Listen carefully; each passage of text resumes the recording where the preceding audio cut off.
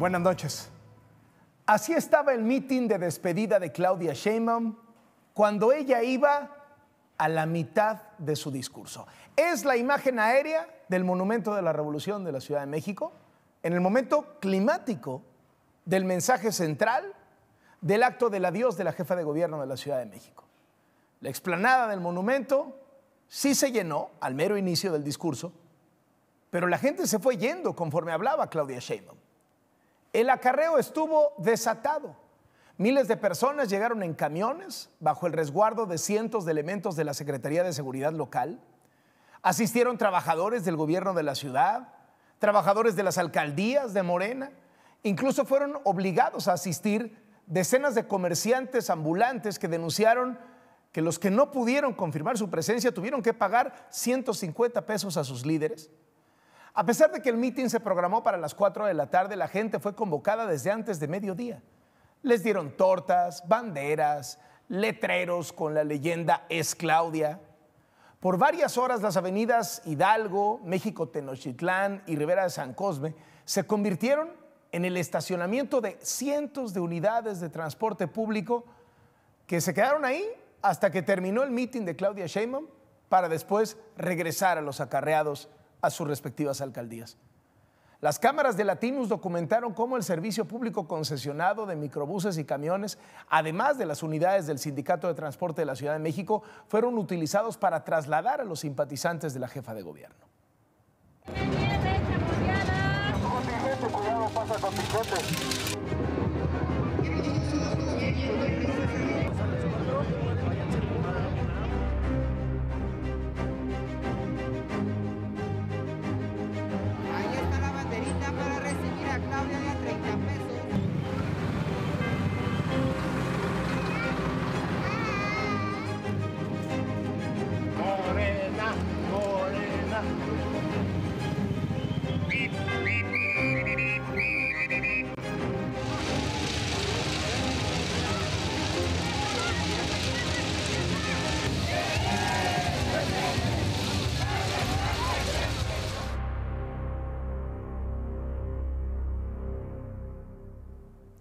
Más que un encuentro ciudadano para despedirse, lo del Monumento a la Revolución fue el mitin de arranque de la campaña oficial por la búsqueda de la candidatura presidencial de Morena.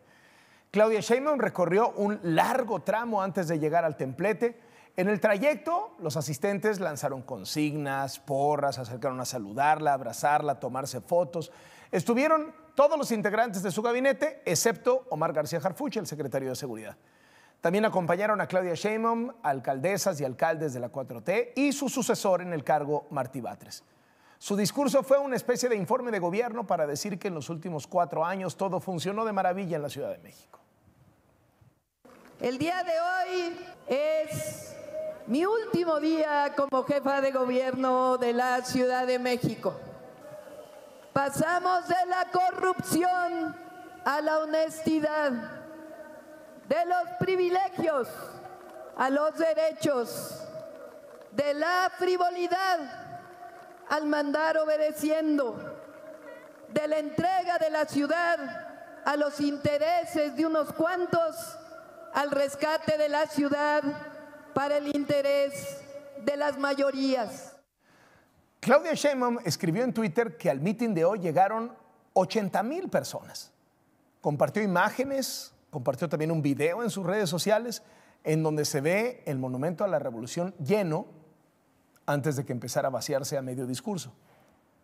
Hace poco más de siete meses, en noviembre del año pasado, se llevó a cabo la primera marcha en defensa del INE, también ahí, en el Monumento a la Revolución.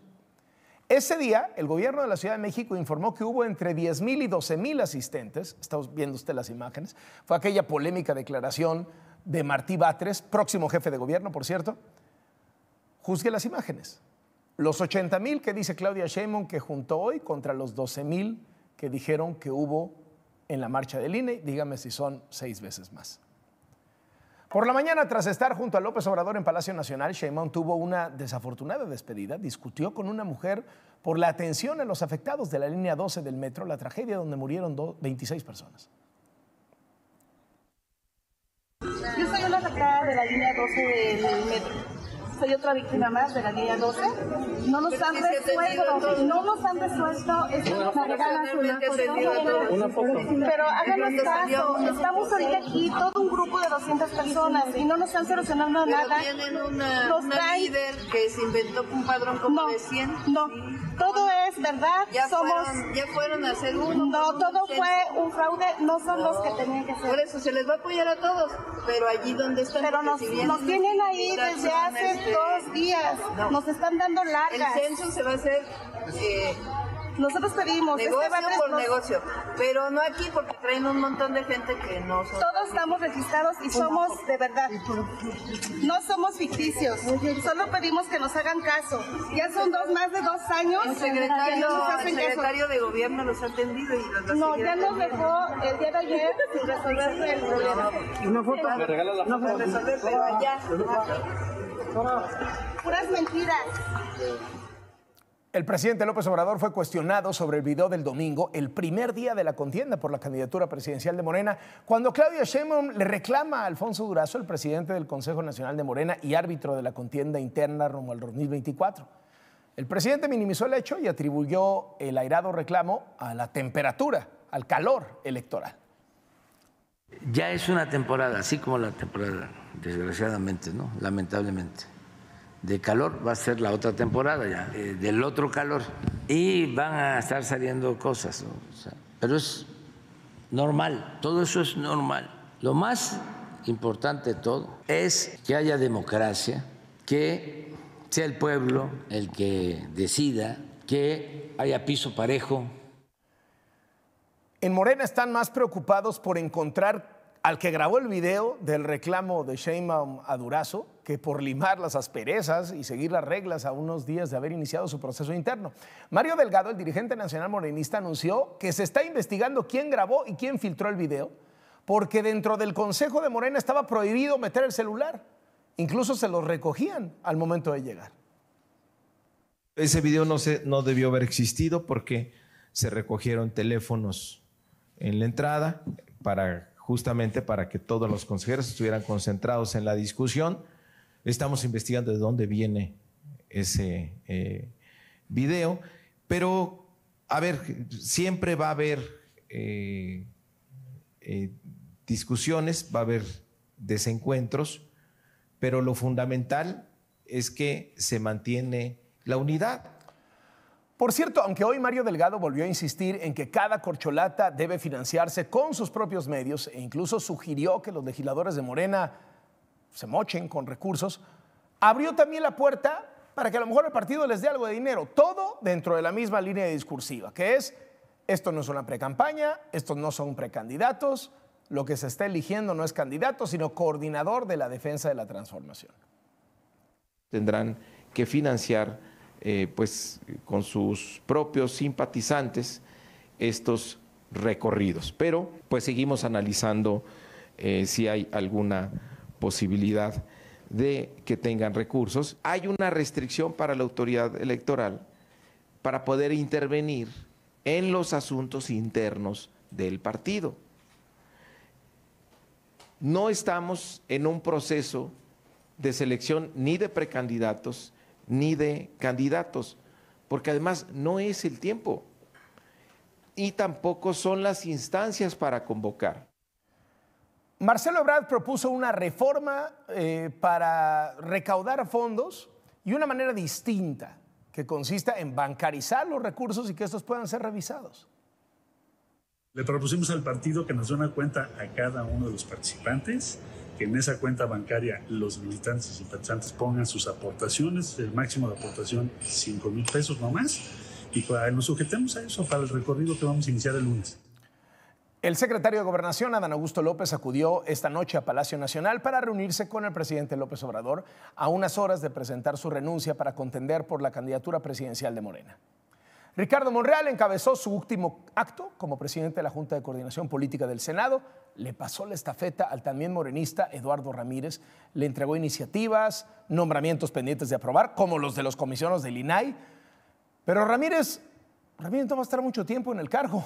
Ayer mismo publicó un video adelantando que buscará la candidatura de Morena al gobierno de Chiapas. O sea, va a entrar en competencia con el director general del IMSS, Zoe Robledo. Me alegra mucho que Eduardo Ramírez, el senador Eduardo Ramírez, haya logrado la unanimidad de nuestro grupo parlamentario. Eh, entrar así es eh, increíble. Hay que escuchar y respetar. Eso es todo. Escuchar y respetar a todos. Y eso funciona. Y que honres tu palabra. Es decir, lo que ofrezcas, cúmplelo. Eso es todo. No traiciones la palabra, no traiciones los acuerdos.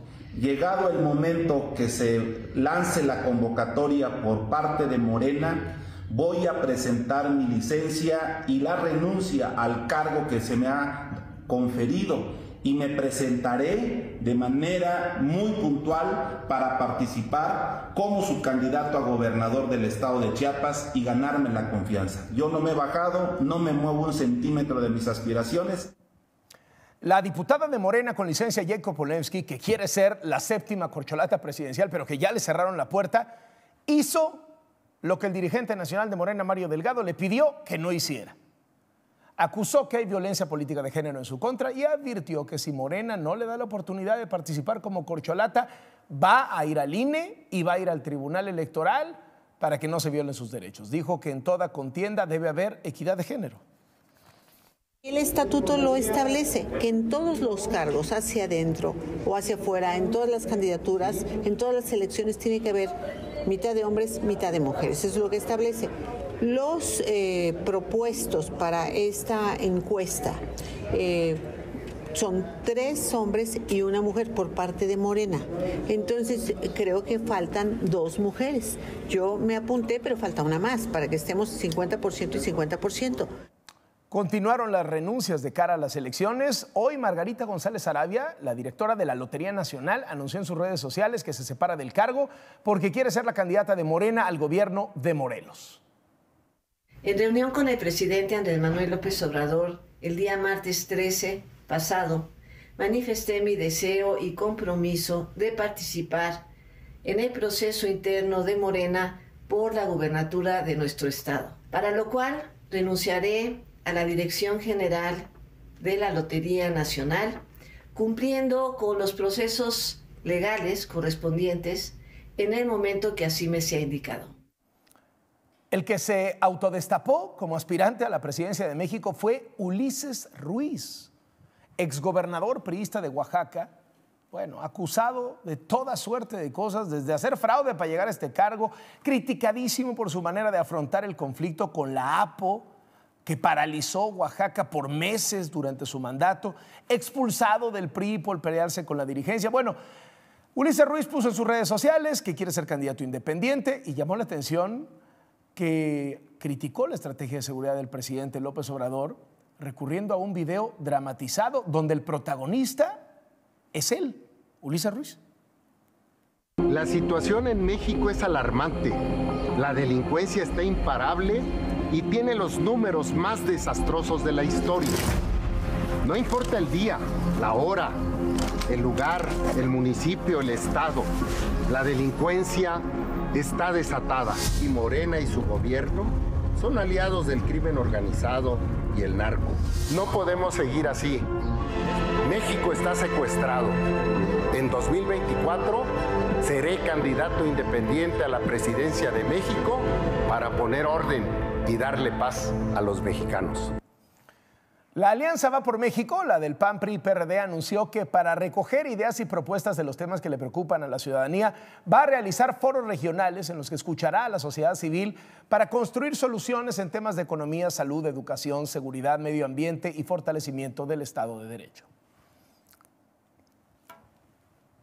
El exgobernador de Hidalgo, Omar Fayad, presentó su renuncia al PRI y acusó a este partido de no saber escuchar. En una carta enviada al Comité Directivo Estatal en Hidalgo, su estado Fallada expresó que deja las filas del PRI ante la falta de apertura para poder participar en las decisiones y la vida institucional del partido. Señala que lo que hoy se vive en el PRI es una simulación democrática. Fallad fue priista por más de 40 años y desde hace unas semanas se rumora que después de que Morena ganó la gubernatura en Hidalgo, a Fayad le iba a tocar embajada y concretamente se hablaba de la embajada en Israel. A Fayad, por cierto, ya le respondió la vocera del PRI, la diputada Paloma Sánchez. Dijo que el exgobernador está haciendo camino para irse a Morena porque sabe que los que aceptan embajadas son expulsados del PRI y así que por eso se adelantó. También dijo que ojalá hable abiertamente sobre la estrategia que trae con Dante Delgado de MC y Mario Delgado de Morena para debilitar al PRI.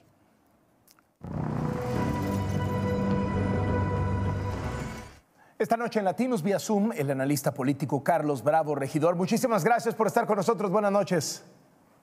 ¿Cómo estás, Tocayo? Muy buenas noches, gracias por la invitación. Eh, ¿Cómo estás viendo hasta este momento, digamos que el primer kilómetro de esta larga carrera por la candidatura presidencial de Morena? Pues mira, de entrada te diría que eh, tiene mucho de simulación, mucho de fraude a la ley, como se ha dicho, pero creo que no es nada más eso. Desde un punto de vista estrictamente político, la verdad me sorprende el margen de juego, el margen de incertidumbre que crea el mecanismo del acuerdo en Morena para, entre las corcholatas para competir. Por ejemplo, el hecho de que cada uno de los aspirantes vaya a tener una encuesta espejo de la encuesta que va a hacer el partido, y que de alguna manera pues eso le permita comparar, ¿no? Contrastar con la encuesta que haga el partido, a pesar de que otra regla sea que, la encuesta es, eh, digamos, incontestable, ¿no? Impugnar, no se puede impugnar, pues claro que puede haber impugnaciones ahí en caso de que no correspondan los resultados, ¿no? También creo, veo a la, a la jefa de gobierno un poco descolocada. Me da la impresión de que ya estaba en una zona de confort, muy, eh, muy plácidamente instalada en la posición de la favorita, ¿no? Y ahora pues tiene que renunciar al cargo, va a tener que hacer, digamos, eh, campaña. Eh, y bueno, a pesar de todo el tiempo, todos los recursos, toda la energía que ha invertido ya en promoverse, pues la verdad es que cuando uno ve las encuestas, su ventaja sobre Brad no es tan amplia. Entonces creo que ahí podría haber una señal de que le cuesta trabajo crecer entre el electorado. No sé si sea suficiente tiempo realmente para que el canciller la pueda, digamos, alcanzar, pero creo que hay un pequeño margen ahí eh, que si bien no, yo, yo no creo al final, digamos, que, que la inercia cambie. Mm. Y creo que o sea, ¿no crees que vaya a, haber sorpresas? Bueno, bueno, es que siempre puede haber sorpresas, Tocayo, pero lo que quiero decir es, yo que la inercia la favorece a ella pero se abre un espacio para hacer política que yo no veía antes y que incluso, digamos, podría, es un espacio en el que podría generarse eh. una sorpresa improbable, pero posible.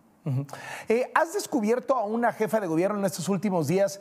digamos, de mecha corta, ¿no? Y eso a lo mejor lo pueden aprovechar sus rivales. Está mostrando claramente una debilidad cuando se irrita con Durazo, cuando se irrita al ser increpada por las víctimas de la línea 12 del metro híjole, si, cualquier cuarto de guerra rival diría, hay que hacerle así, hasta reventarla, ¿no? O sea, es decir, está mostrando muchas vulnerabilidades, como decías tú, muy, muy fuera de sitio, ¿no?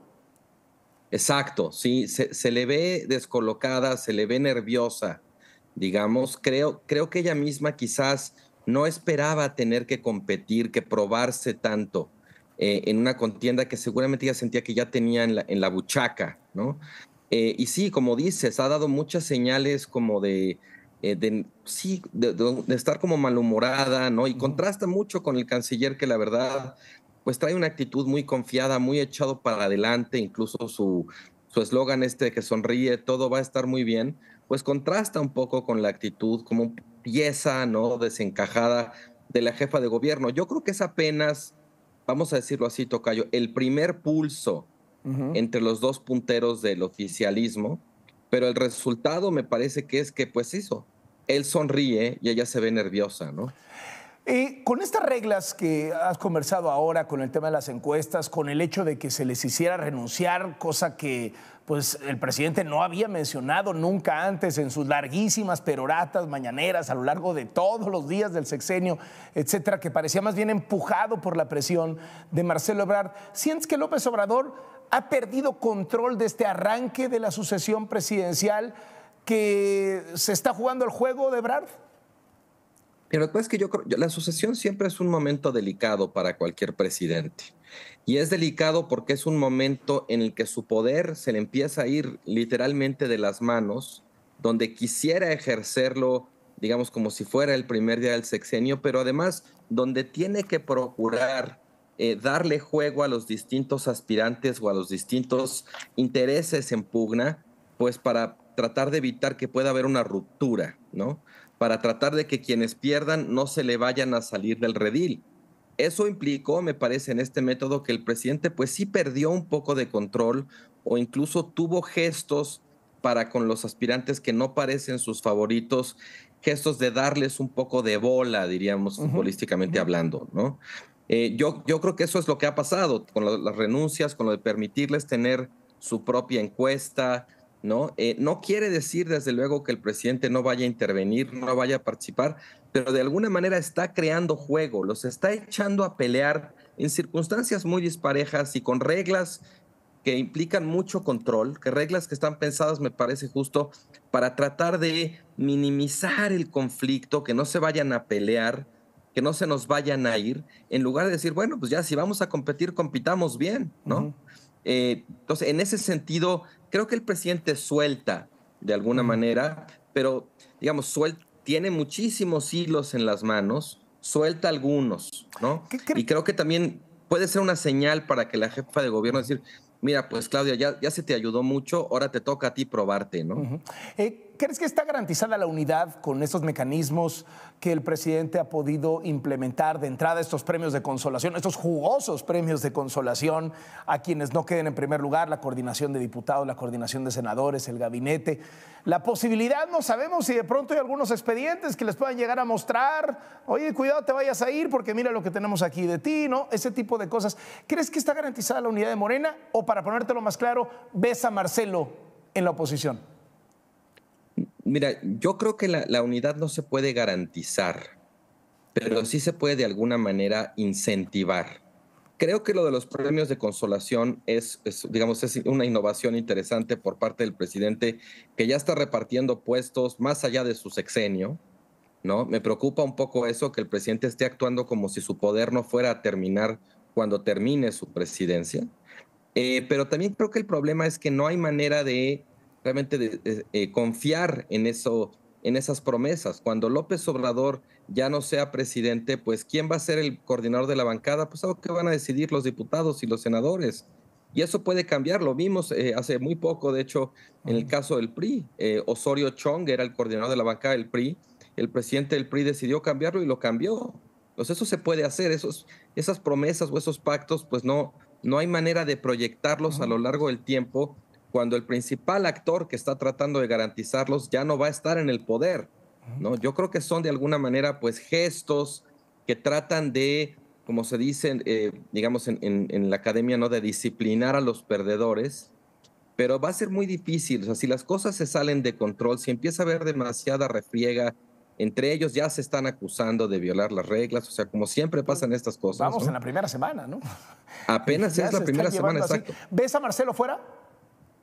No, yo creo que Marcelo se la va a jugar adentro. Yo creo que él sí está apostando por tratar de ganar y si no, de negociar desde una posición de mucha fortaleza, eh, pues posiciones para el siguiente sexenio. Creo que salirse sería como el plan C del canciller. Su plan A es ganar, su plan B es quedarse, su plan C sería irse. Sería muy costoso. ¿Crees que está perdiendo relevancia? ¿Crees que está perdiendo relevancia la mañanera? ¿Crees que la figura presidencial pues deja de tener este foco de atención, estos reflectores, este ser retomado permanentemente, cada palabra, cada disparate, cada frase, cada ocurrencia en los medios de comunicación y generar debate, porque la atención está en la contienda. ¿Crees que se, ha despresurizado? ¿Y cómo te imaginas a López Obrador lidiando con la idea de que él ya no es el protagonista de la película?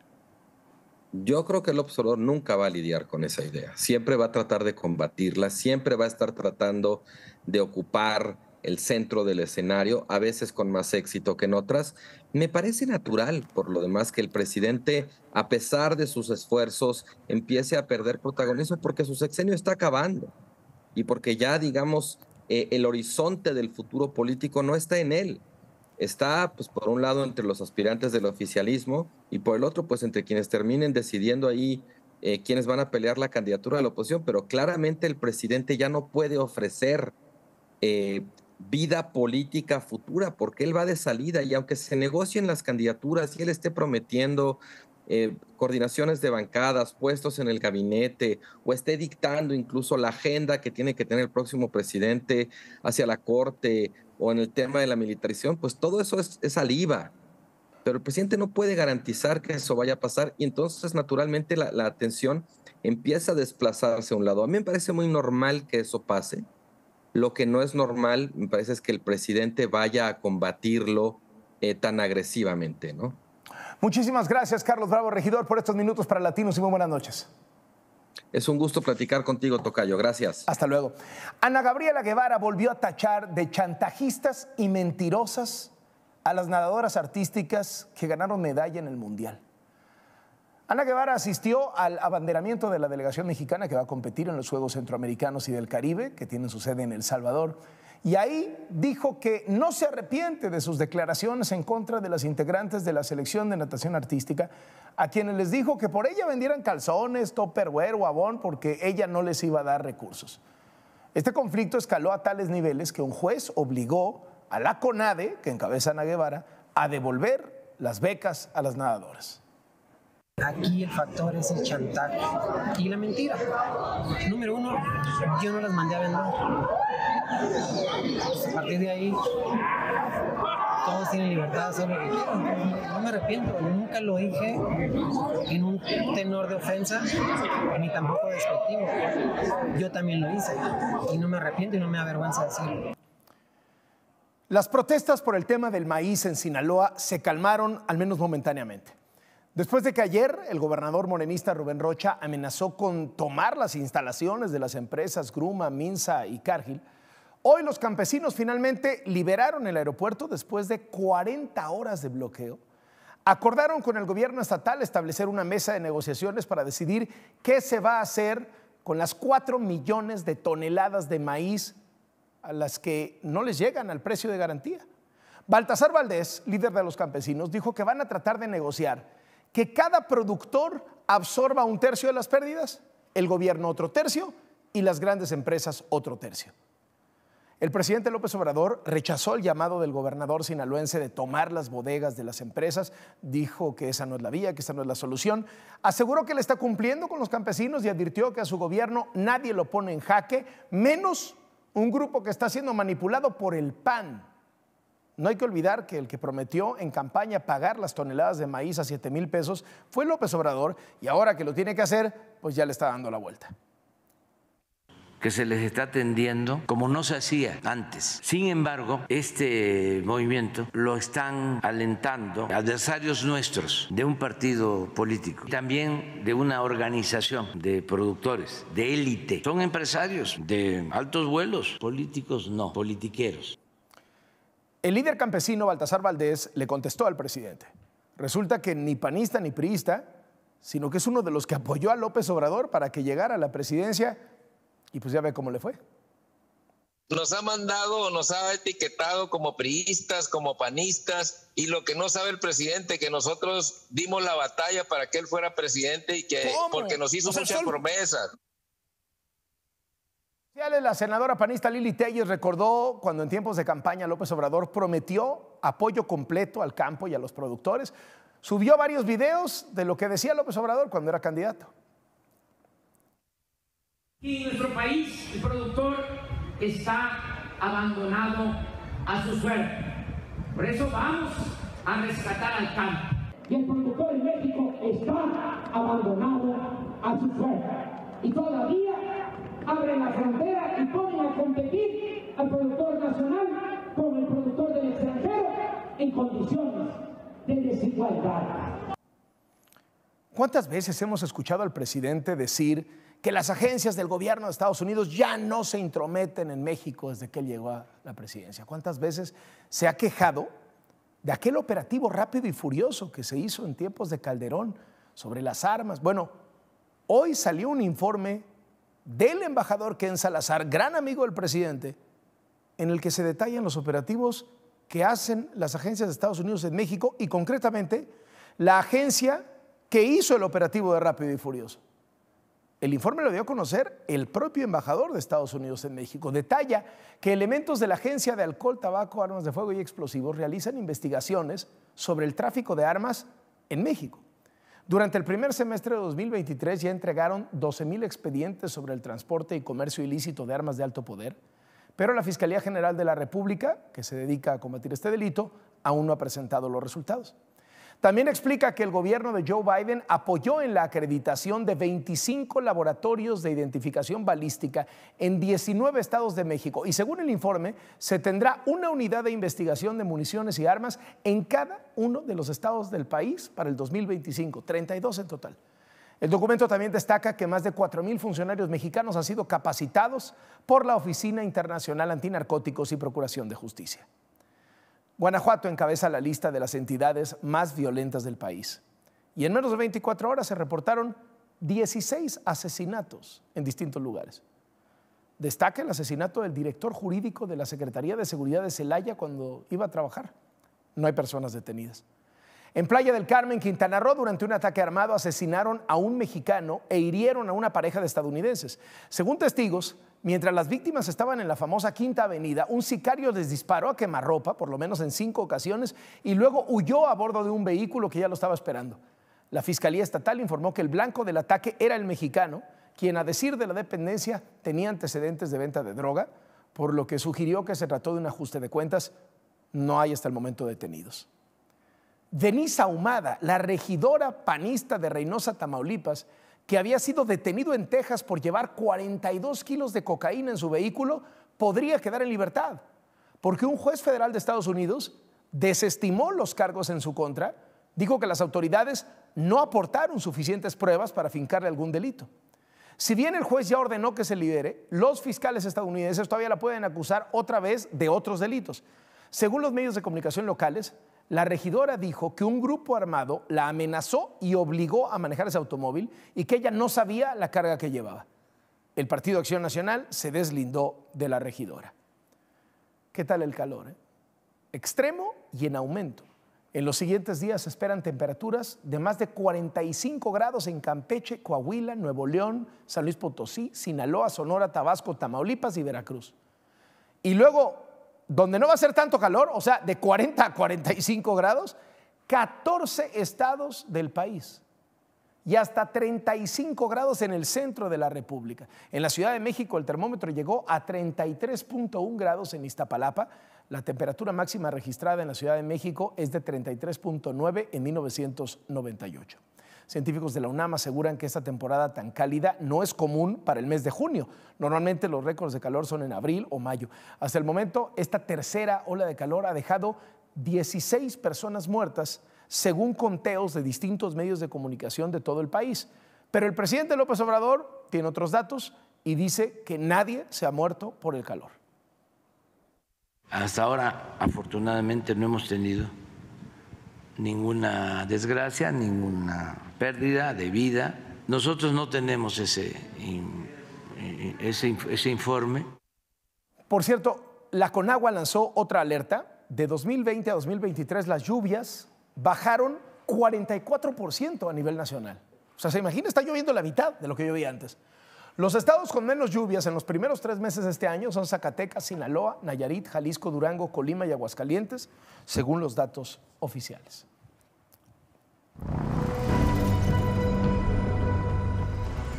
China no está creciendo económicamente como se esperaba y eso preocupa al mundo y desde luego preocupa a la propia China, al grado que el Banco Central de China bajó sus tasas de interés tratando de animar la recuperación económica. Estaban en 2.75, las redujo a 2.65%, esto debido a que la producción de las fábricas y las ventas minoristas en mayo cayeron y el desempleo entre su población más joven aumentó.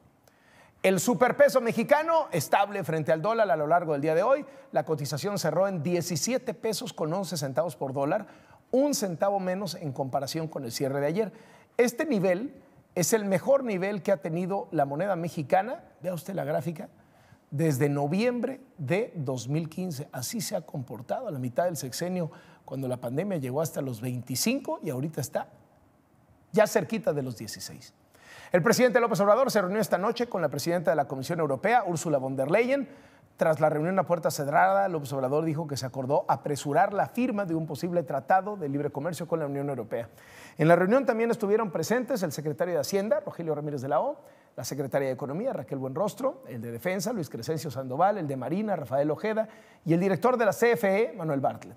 Estuvo también el gobernador de Sonora, Alfonso Durazo, quien le presentó el Plan Sonora de Energías Sostenibles a la presidenta de la Comisión Europea. Al salir de Palacio Nacional, Úrsula von der Leyen expresó que fue una reunión excelente.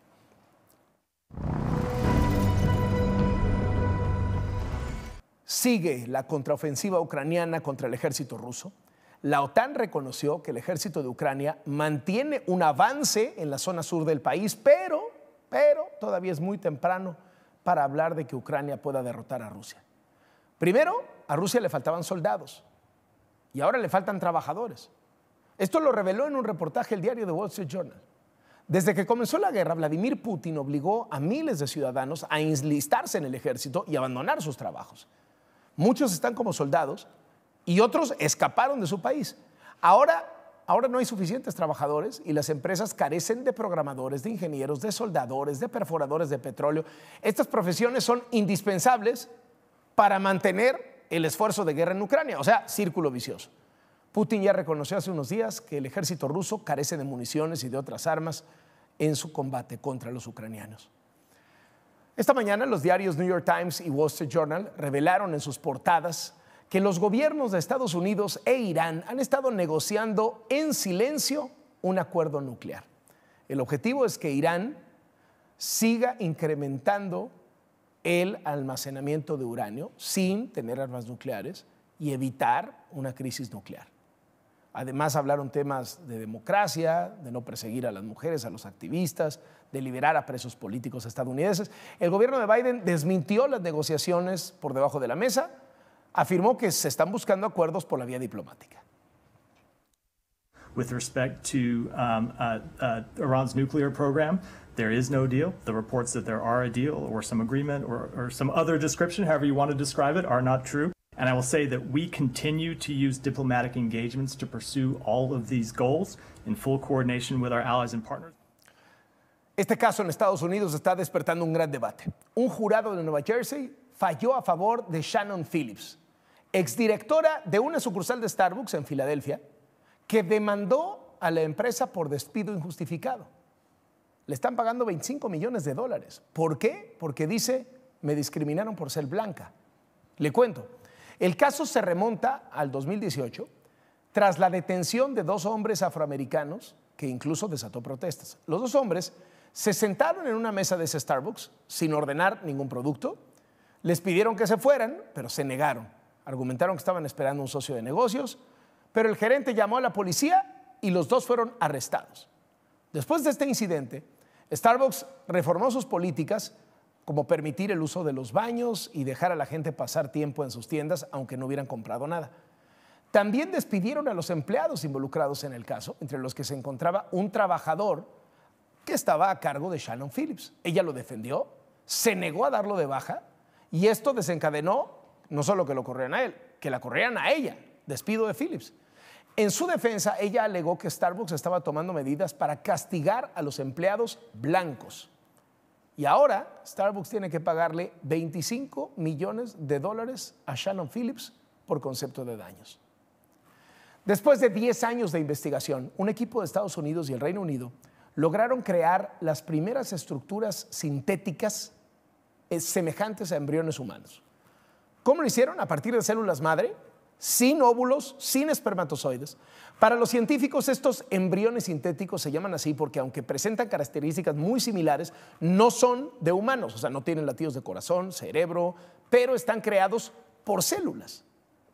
Lo que se busca con este descubrimiento es que los científicos puedan estudiar enfermedades genéticas, abortos espontáneos e incluso que algún día pueda ayudar a las mujeres que por algún motivo no puedan embarazarse.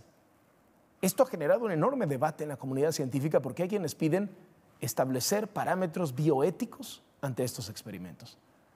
Y para la recta final del noticiero, el fenómeno Taylor Swift, que ya tuvo su primer impacto político en México.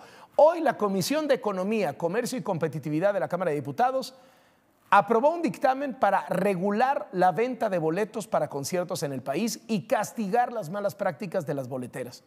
La iniciativa propone que los organizadores garanticen la entrada al concierto a cualquiera que haya comprado un boleto. Se prohíben las sobreventas, se aumentan las penas para las reventas, las empresas deberán incrementar los protocolos para evitar a los revendedores.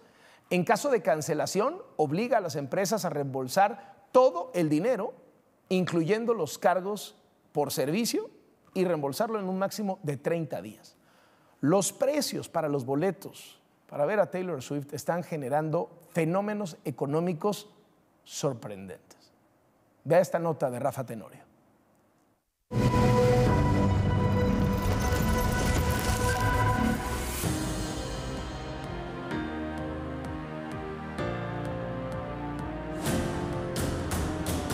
planning for ages, and I finally get to tell you I'm going back on tour. Uh, the tour is called the Eras Tour, and it's a journey through all of my musical eras of my career.